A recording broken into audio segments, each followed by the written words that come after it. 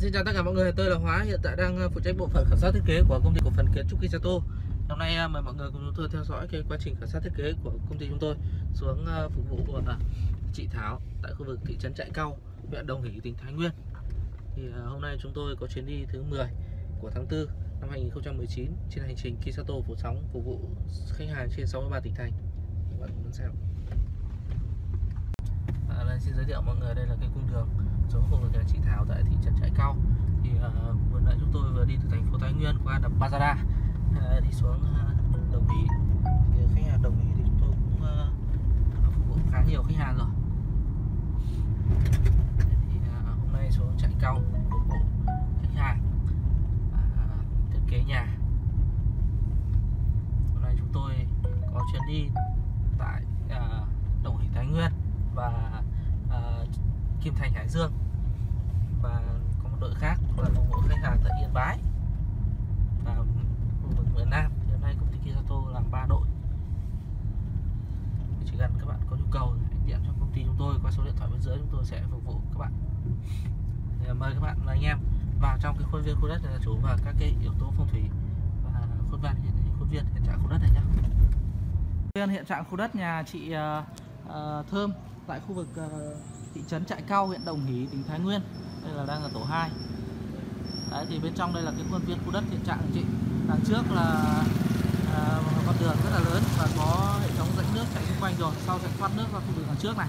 Và đây là cột điện này, thoát à, cấp điện ở phía trước và cũng cấp nước ở khu vực phía trước và cột điện này là nằm giữa khu vực à, nhà chị. Nhà chị đến gác giáp với bờ tường kia. Đây là cái trạm bên trong, cấp điện, cấp nước, nước đều ở phía bên tay trái hết bên trong này. Thì đây là mặt tiền nhà chị với ờ, 12 mét mốt. Chiều sâu là 34 mét. Đấy chiều sâu là bắt đầu từ đây này từ cái bức tường này hất vào này. Đấy, đây là 12 mét mốt. Là cái tầng mặt tiền này. Đấy, đấy thì đi càng vào sâu thì ờ, rất đất rất là sâu. Thì hướng chính nhà chị là hướng ờ, đông bắc với 38 độ. Thì ở đây chị dự kiến xây dựng ngôi biệt thự hai tầng mái thái tại đây cho là rất là sâu. Đây là một cái hiện trạng nhà cũ nhà chị này.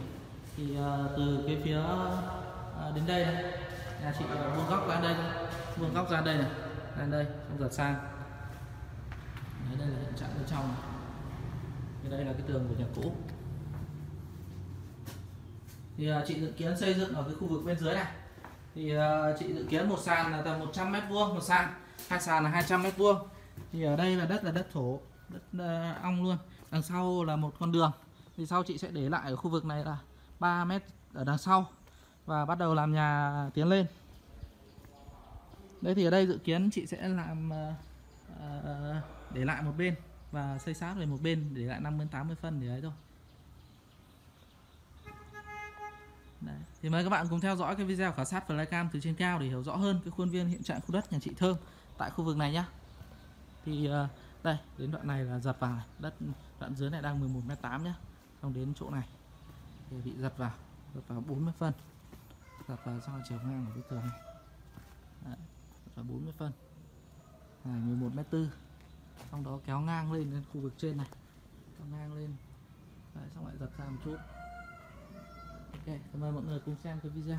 Ở trên cao để nhìn rõ hơn hiện trạng chỗ này ngày xong bản thiết kế. Vâng và bên ờ, trong đây là cái khuôn viên khu đất hiện trạng nhà chị Thơm tại khu vực thị trấn Trại Cao, huyện Đồng Hỷ, tỉnh Thái Nguyên. Thì đây là cái khuôn viên khu đất nhà chị này. Đây với chiều sâu ở dưới này là 11m8 này. 11m8. Đấy. Và ở ngoài mặt tiền thì nó là 12m1.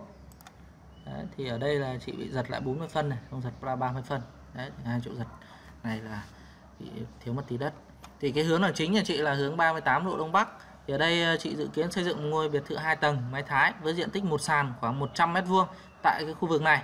Thì đằng sau chị sẽ để lại ờ, khoảng 3 mét 2 mét rưỡi đến 3 mét và xây gần sát về một bên để một bên lại khoảng tầm ờ, 5 đến 80 phân để thoát nước và một bên này là sẽ để làm lối đi đó thì ở đây thì mọi người sẽ bố trí cho chị cố gắng được hai mặt tiền. Một mặt ờ, chính là quay ra hướng đông bắc này 38 độ và một mặt là quay về hướng ờ, phía còn lại nghĩa là sẽ thành hai sảnh hai sảnh chính.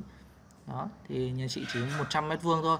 Thì xem xem nó có vào cái khu vực mảnh đất này không. Và đây là bắt đầu là cái nhà cũ nhà chị này. Đấy. Đây là cái mái mới ra nhá.